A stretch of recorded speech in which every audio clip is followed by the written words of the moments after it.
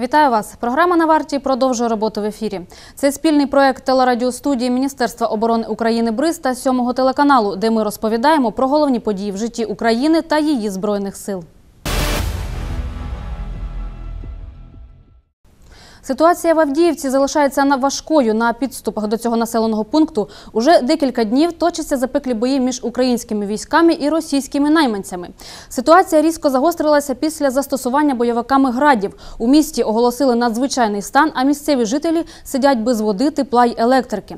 За повідомленням прес-центру штабу антитерористичної операції, російські найманці пішли в атаку на позиції українських військових ще у суботу, 28 січня.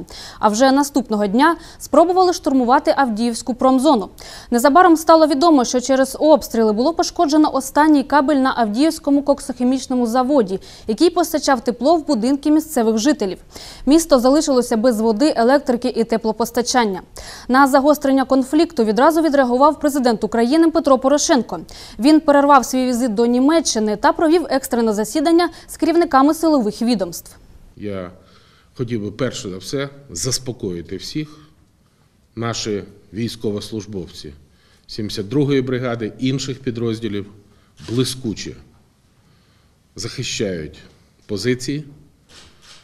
Жодного наказу в них не відповідати на е, знищуючий вогонь немає.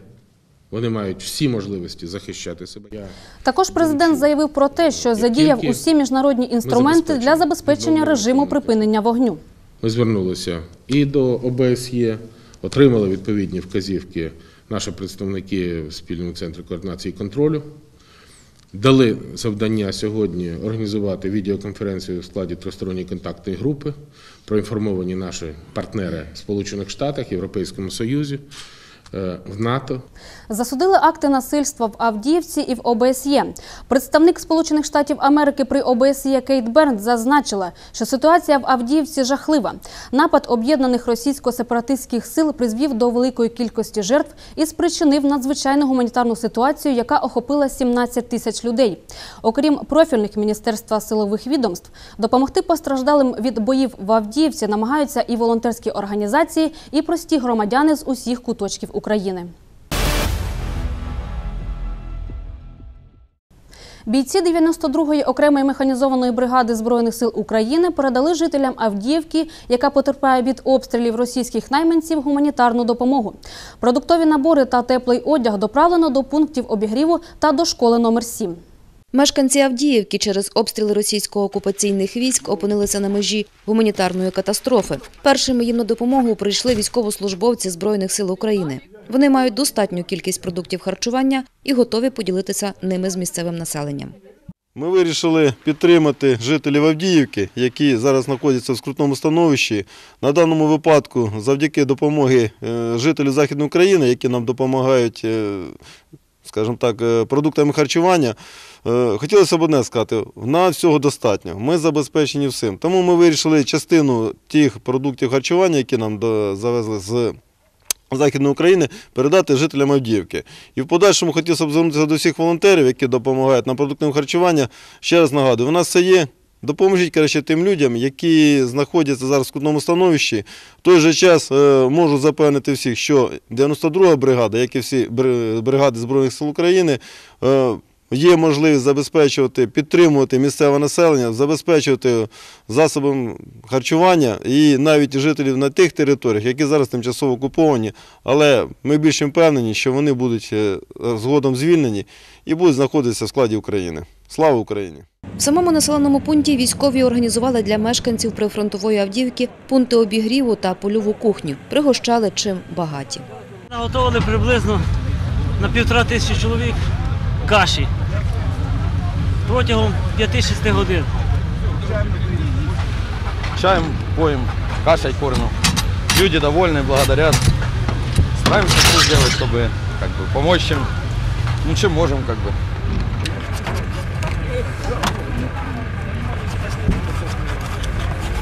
Огромное спасибо, потому что у нас очень много и инвалидов. Вот я, нас- например, я второй группы инвалид, муж третья группа инвалид. Но помощи как таковой толком нету. Вот, вот спасибо вам. Коробки з продуктами та теплим одягом привезли в єдину, яка зараз функціонує, школу міста. Сейчас у нас в Авдеевке очень тревожная ситуация. Единственная школа работает в городе, это номер 7. К нам привели со всех школ детей, и весь мир окликнулся, все помогают. Вот сейчас военные привезли тоже помощь и детям, и сотрудникам. Мы просто благодарны, что люди чувствуют эту ситуацию. Большое всем спасибо. В Авдіївці намагаються уникнути гуманітарної катастрофи. Місцеве населення отримує волонтерську допомогу. Тих, хто бажає залишити місто, перевозять у більш безпечні населені пункти. Мешканці Одеси та Одеської області теж активно надають допомогу громадянам на сході країни, передають харчі та теплі речі мешканцям Авдіївки, підтримують військових, які несуть бойову службу на передових позиціях, та тих, хто, отримавши поранення, перебувають на лікуванні в одеському госпіталі. В цьому переконався заступник міністра оборони України з питань європейської інтеграції Ігор Долгов, який цими днями з робочою поїздкою відвідав одеський гарнізон. В рамках робочої поїздки заступник міністра оборони України з питань європейської інтеграції Ігор Долгов зустрівся з головою Одеської облдержадміністрації Максимом Степановим. Вони обговорили нагально важливе питання щодо тісного співробітництва цивільних та військових, яке повинно бути налагоджене як годинниковий механізм. Адже у цьому зацікавлені як місцеві громади, так і колективи командувань і частин усіх видів збройних сил України, дислокованих у регіоні. В той же день біля адміністрації проходив збір гуманітарної допомоги від мешканців цієї області населенню Авдіївки та захисникам цього населеного пункту, учасникам АТО. Як пояснив голова облдержадміністрації, це вже друга вантажівка від одеситів, яка буде направлена до опаленого війною міста.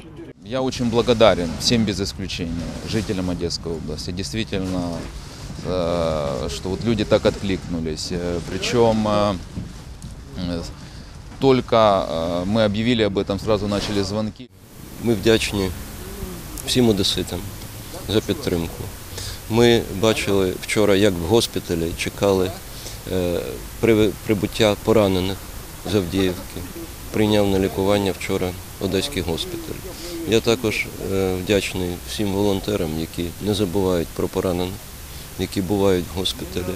Треба більше контактувати військовим і цивільним, бо у нас армія за ці роки стала дійсно народною армією, і цей дух патріотизму і підтримки Збройних сил треба тільки усіляко підтримувати і розширювати. Під час завантаження чергової вантажівки до заступника міністра оборони України звернувся активіст із Ізмаїлу Ігор Скоробреха. Громада міста вирішила, окрім гуманітарної допомоги мешканцям Авдіївки, передати також півсотні теплих польових одностроїв для військовослужбовців 72-ї окремої механізованої бригади, які захищають місто.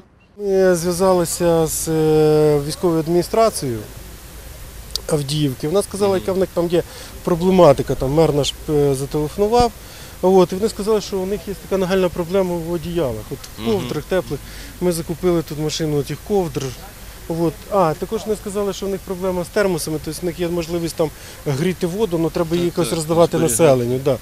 Тому заїхали сьогодні в супермаркет, викупили всі термоси. Активіст зазначив, що як тільки діти художньої школи Ізмаїла дізналися про акцію з допомоги мешканцям та військовим Авдіївки, вони миттєво зорганізувалися та підготували для захисників України надихаючі дитячі малюнки з побажаннями перемоги нашим бійцям. Ігор Долгов подякував усім мешканцям Одеського регіону за щиру турботу про поранених українських захисників, зазначивши, що такий неймовірний дух підтримки надихає наших воїнів на незримі висоти стійкості та відваги. Під час робочого візиту до Одеси заступник міністра оборони України Ігор Долгов відвідав також і українських військових, що перебувають на лікуванні у військово-медичному клінічному центрі південного регіону після отриманих поранень в зоні АТО. Поцікавився у лікарів станом здоров'я бійців, перебігом лікування, рівнем забезпечення медикаментами та обладнанням, перспектив реабілітації та одужання військовослужбовців, учасників бойових дій на сході України. Від імені міністра оборони України Степана Полторака Ігор Долгов подякував військовослужбовцям за виявлену мужність та відвагу під час участі в антитерористичній операції та нагородив їх відомчими відзнаками та цінними подарунками. Поздравляю. Подзвоніть мамі, скажіть, що в Міністерстві оборони і Збройних силах про вас не забудуть ніколи. Серед нагороджених не лише відважні бійці. Цінні подарунки, наручні годинники отримали за дорученням міністра оборони України і троє медиків, учасників АТО. Капітана медичної служби Жирнову Маріанну Анатоліївну, ординатора кардіологічного відділення військово-медичного клінічного центру Південного регіону. Товариш капітан, поздравляю з відзнакою. Дякую за службу.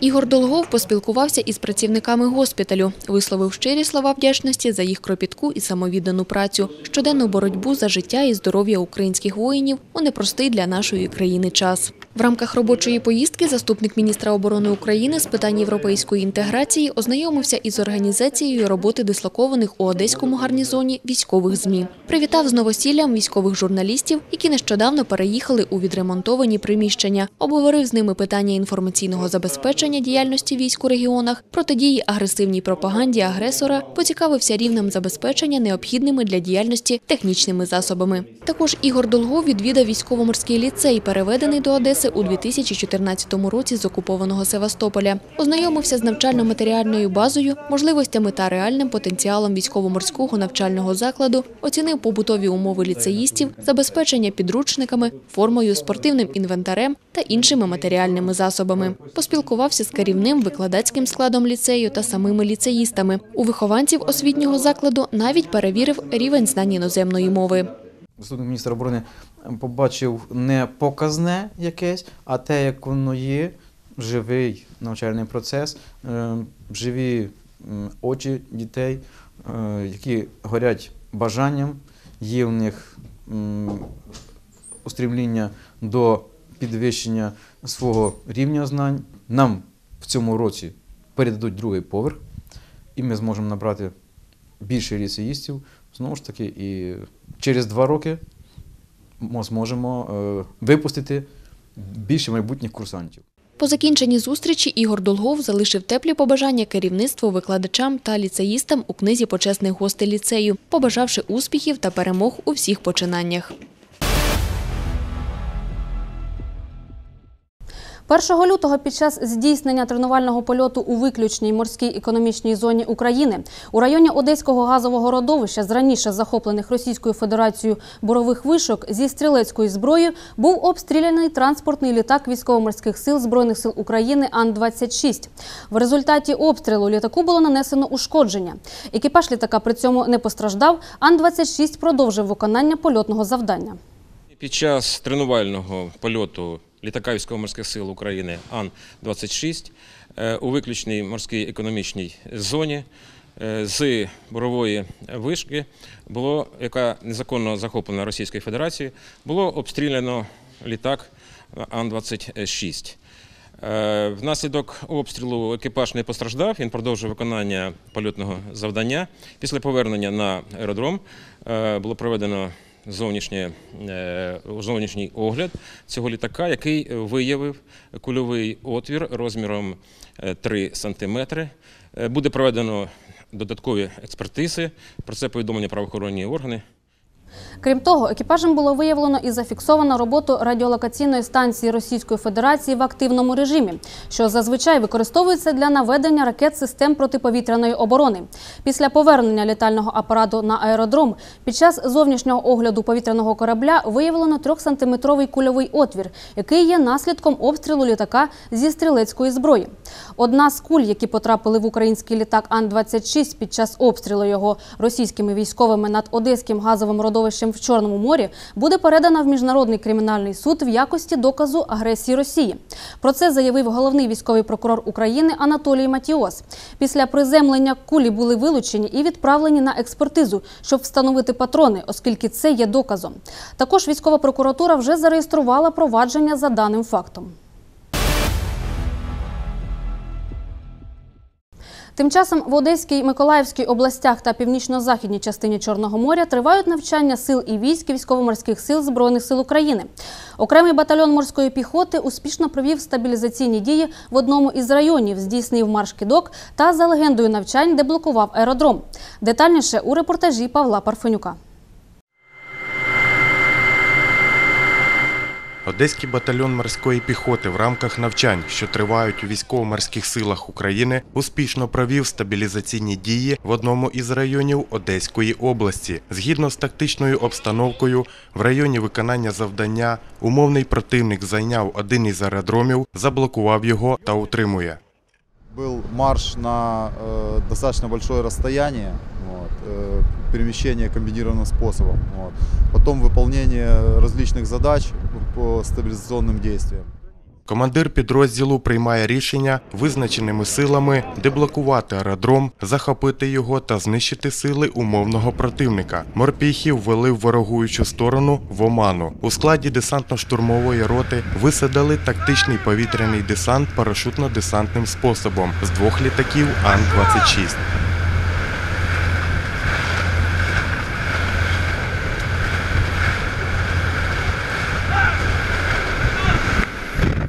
Десантники у взаємодії з ротою морської піхоти та іншими підрозділами стрімкими діями одночасно з двох напрямків увійшли в положення безпосереднього зіткнення з ним, знищили його та зайняли аеродром. Была задача отработать тактический элемент, вот, а в последующем э, к, тактическому, эле- к тактическому элементу будет еще подключаться элементы огневой подготовки. Після цього чорні берети організували охорону та оборону аеродрому, розвідувально-пошукові дії в районі патрулювання, пошук в районі визначених населених пунктів, диверсійно-розвідувальних груп, схованок зброї, боєприпасів та вибухових речовин, взяли під контроль транспортні комунікації, організували взаємодію з органами державної влади та місцевого самоврядування. Эту задачу отработали готовимся, э, готовимся к следующим задачам. Да, учения, учения продолжаются у нас еще э, в- в режиме полевого выхода. Отримані практичні навички будуть удосконалюватися морськими піхотинцями під час низки тактичних навчань, впевнений командувач виду Збройних сил України. Я впевнений, що вони ще тільки будуть підвищувати свій рівень бойового злагодження, свій польовий вишкіл е, як морської піхоти, як еліти Збройних сил. Підбиваючи попередні підсумки навчань сил і військ військово-морських сил Збройних сил України, віце-адмірал Ігор Воронченка відзначив також вмілі дії корабельного складу, морських авіаторів, берегових артилерістів, військовослужбовців інших підрозділів. Е, Високий рівень показали стрільби е, артилерістів. Вони практично з першого пострілу вразили мішень надводну. Е, Кораблі чітко і своєчасно вийшли на вказані точки дозору і забезпечили прикриття і потім виконання е, стрільб е, в полігонах надводних. Як повідомлялось, в Одеській і Миколаївській областях та у північно-західній частині Чорного моря тривають навчання сил і військ військово-морських сил Збройних сил України. До навчань залучені кораблі, катери і судна, літальні апарати морської авіації, авто і бронетехніка. Учасники маневрів відпрацьовують завдання з посилення охорони державного кордону на загрозливих напрямках, а також важливих державних об'єктів, взяття під контроль основних транспортних комунікацій, забезпечення протидиверсійної оборони. Метою заходів також є поглиблення взаємодії з місцевими органами влади і населенням.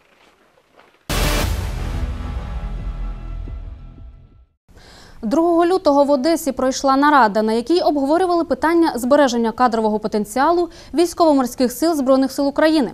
Основною метою заходу було визначені шляхи подальшого зацікавлення військовою службою підготовленого та мотивованого особового складу. Контр-адмірал Андрій Тарасов підкреслив, що серед основних факторів привабливості військової служби мають бути не тільки гідне грошове забезпечення та належний соціальний захист, а й добрі взаємовідносини у військовому колективі. Варто зазначити, що необхідність проведення службової наради була обумовлена також змінами у законодавчих документах, що регламентують проходження військової служби та визначенням шляхів покращення морально-психологічного стану у військових колективах.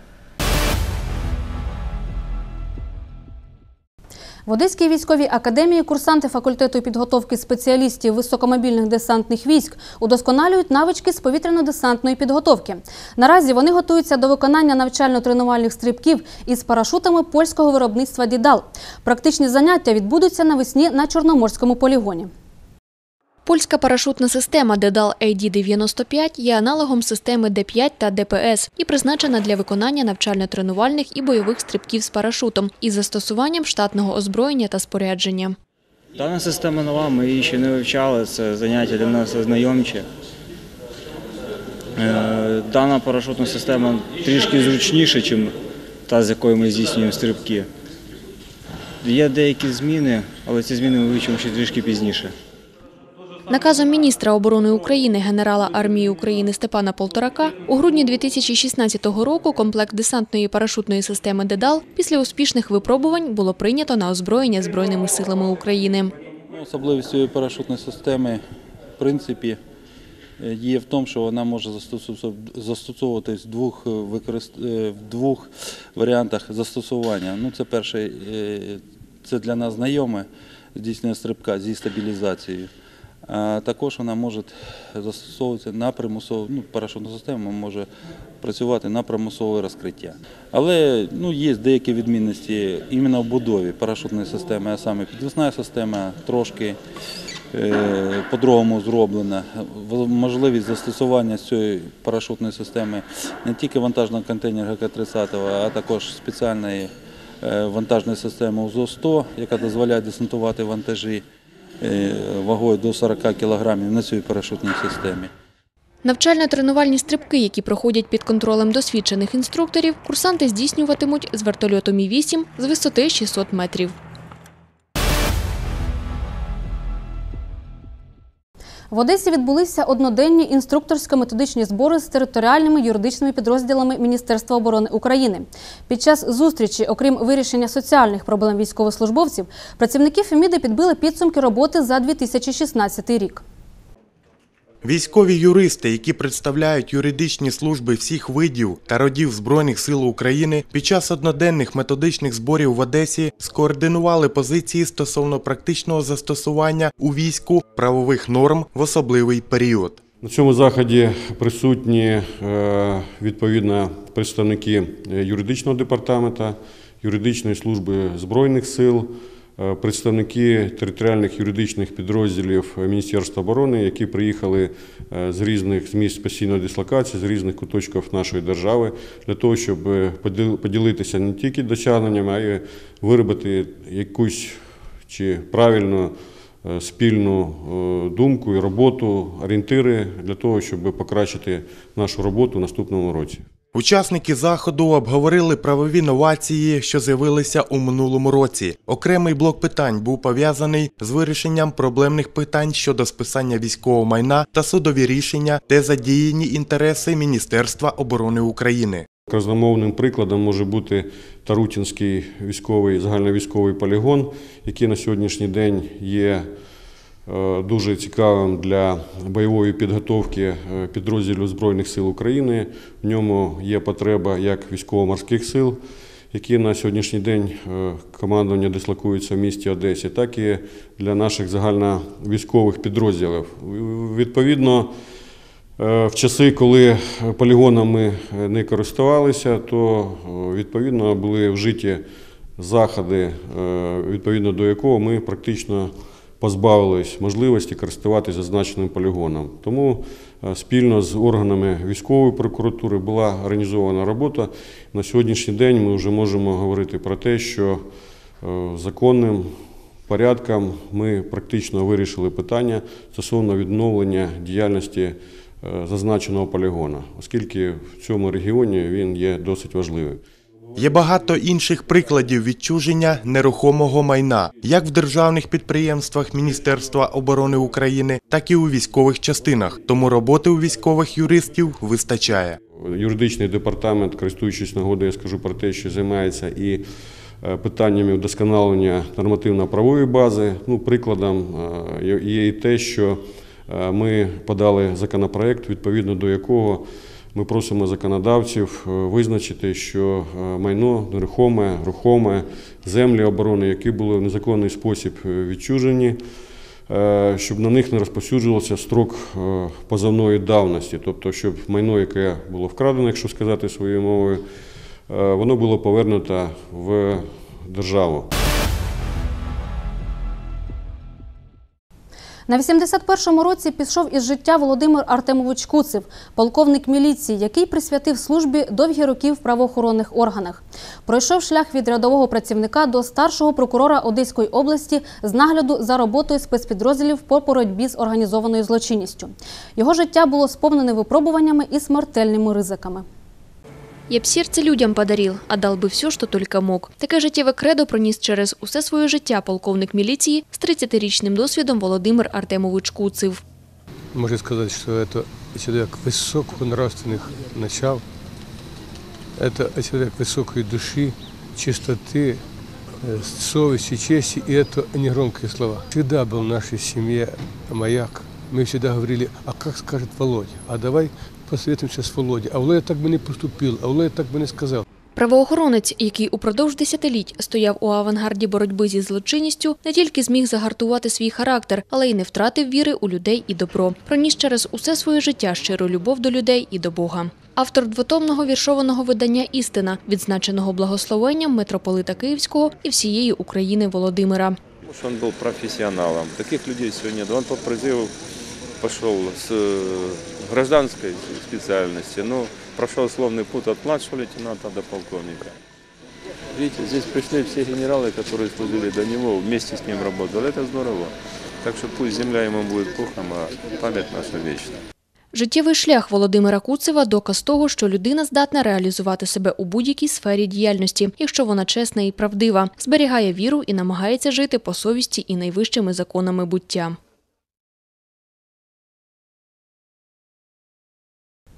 І про спорт в Одесі розпочато третій етап спортивного тестування на участь у національній збірній Україні ігор Інвіктус 2017 року. Серед кандидатів військовослужбовці та ветерани, які отримали травми від час виконання службового обов'язку. Під час заходу оцінювали також фізичний стан кандидатів, які подали заявку на участь у іграх Інвіктус 2017 року. По всій Україні військові колективи приєднуються до флешмобу 22 Push-Up Challenge на підтримку учасників бойових дій. Підтримали заокеанський флешмоб і військовослужбовці військової прокуратури Південного регіону України. Понад 50 офіцерів разом з військовим прокурором регіону, генерал-майором юстиції Максимом Якубовським, виконали умови естафети та передали її наступникам. Продовжили естафету флешмобу і військовослужбовці повітряного командування Південь разом з командиром Павлом Зуєвим та заступником командира центру управління та оповіщення повітряного командування Південь по роботі з особовим складом Юрієм Позднієвим.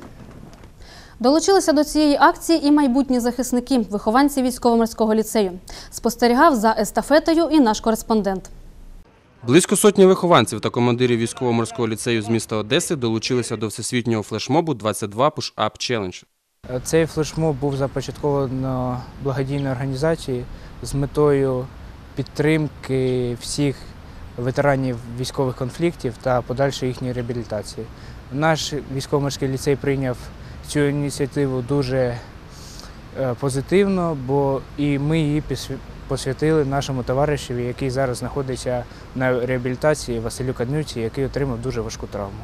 Військово-морський ліцей приймає естафету від Київського військового ліцею імені Івана Богуна та приймає участь у всесвітньому флешмобі 22 Push-Up Challenge та присвячує його воїнам АТО.